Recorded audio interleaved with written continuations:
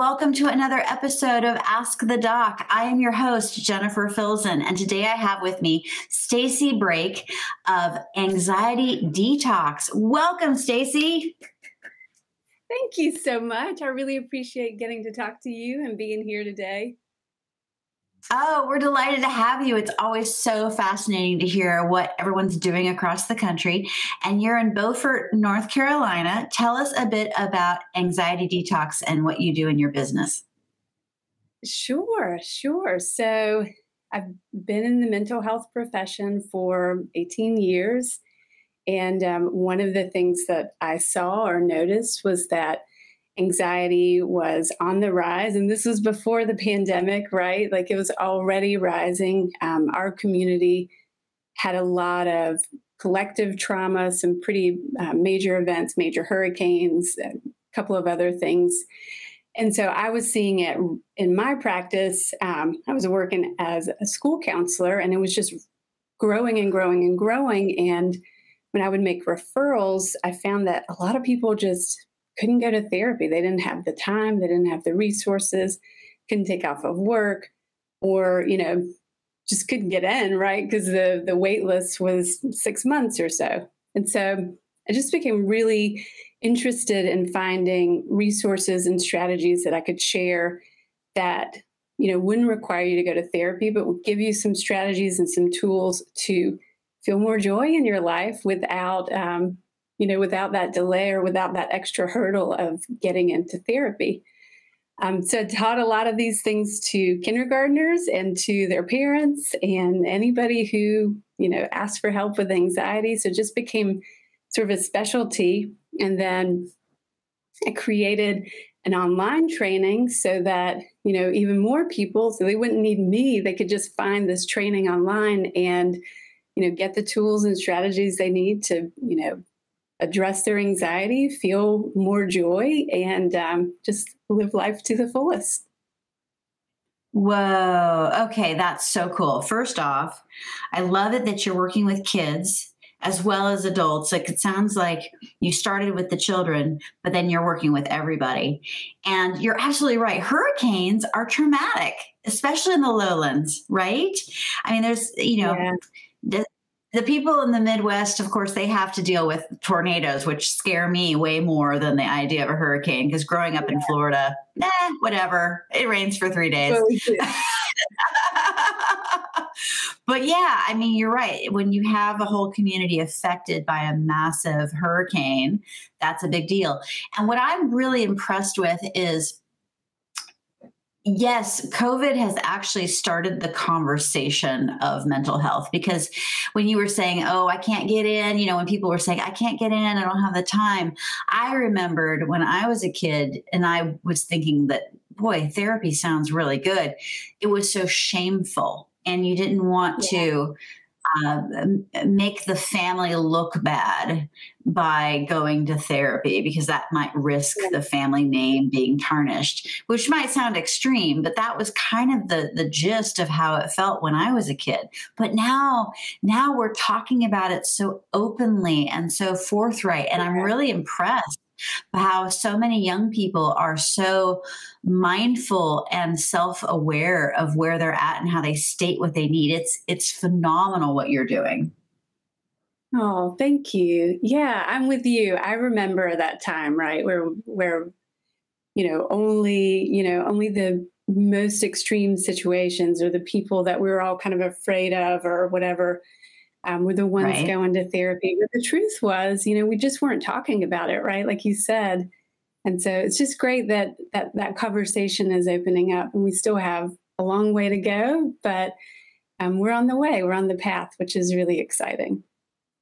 That is exciting. Okay, so I always love to hear like little success stories, and I know that with you know uh, you have to be protective of privacy. But do you have any little success stories that you want to share with us about how you've helped someone find more joy or overcome that anxiety and get rid of it forever? I don't know if oh, forever is yeah. possible. well, you know, you, you make such a great point, right? Like anxiety just any emotion is is normal that's part of the human experience the question is what do we do with it Um, and so my goal isn't to pretend that we can never experience that feeling, but to know what to do with it and to not be, you know, guided by it, not be, you know, um, led by our anxiety to still be able to live a full life and know how to manage it and work through it. Um, but one of my favorite success stories, um, and I, I won't give the name, obviously, but um, but a woman that I worked with, um, she she has worked through my program, and we did some private coaching as well. And she messaged me about a month ago, and she said, "You know, I just have to tell you this." She said, "You know, I wanted help with my anxiety. There were lots of things that I was hoping to manage." and it's worked. But what I didn't anticipate, she said, I had never made this connection, but as a kid, I had always felt so much anxiety going to school. Like my belly would always hurt. I always felt discomfort. And as an adult, as a parent, I found that when I would take my child to school, I had the same thing happen. Like just walking him to school, I felt it all over again. She said, I don't wow. have that anymore. She said, the first time in my life, I've been able to walk my child to school and just have fun, just enjoy it. So that's probably one of my favorites. Wow, that's a good story. You know, it, it come to think of it, there's, there's so many reasons to be anxious while walking to school, right? Oh, I didn't study for that test. Or uh, sadly, oh, I wonder if there's going to be an active shooter. I mean, like it's it's not exactly a walk in the park going to school nowadays. Um, wow. So, if you could give us a little bit of advice, like to get through a day, you know, um, if we have anxiety, is there something quick that we might be able to do to just at least acknowledge it and keep it at, at a, at a lower volume? you know what I mean? Absolutely. I think one of one of my favorite strategies, and this is one that I've taught to five year olds and grown ups, um, it's really connected to what we've learned from neuroscience. So we know that our inhale is connected to our sympathetic nervous system, which is the fight or flight. And our exhale is connected to our parasympathetic nervous system, which is that rest and digest.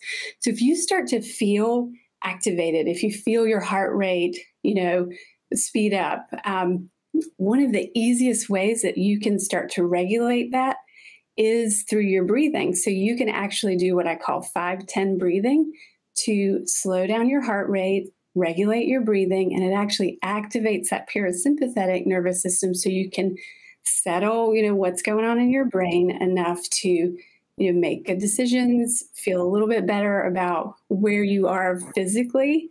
Um, and so it's just breathing in for in for five and out for 10 so inhale five exhale for 10 and and 10 is kind of arbitrary but really the goal is just to have your exhale extend longer than your inhale so that five and 10 just gives you a reference point um, but really, you know, I've used this personally, like standing in the grocery store, I'm feeling impatient or, you know, agitated or like I need to hurry. I'm like, okay, just, you know, if I just take that time to just exhale a little bit longer than my inhale, it immediately starts to slow me down and I can feel those effects um, and then move forward. I love that. Okay, I was doing it while you were saying it. That's so cool. Yeah, I love that. Well, Listen, how do people get a hold of you? I, I believe that the name of your company is Anxiety Detox, but they go to staceybrake.com, correct? And her, her last it. name is like the brakes on your car, B R A K E. So staceybrake.com. Go check her out. And everybody, thank you so much for joining us today on Ask the Doc. Stacey, thank you for being here. If you want to find out more about tools on how to reduce your anxiety and just manage it and have a joyful, happy life, please do find out more about Stacey Brake and Anxiety Detox on Buzz TV. So what you do is you go to iwannabuzz.com, find out more about her, and be in touch because she's got some great tips. Thanks so much, everybody, and have a great day.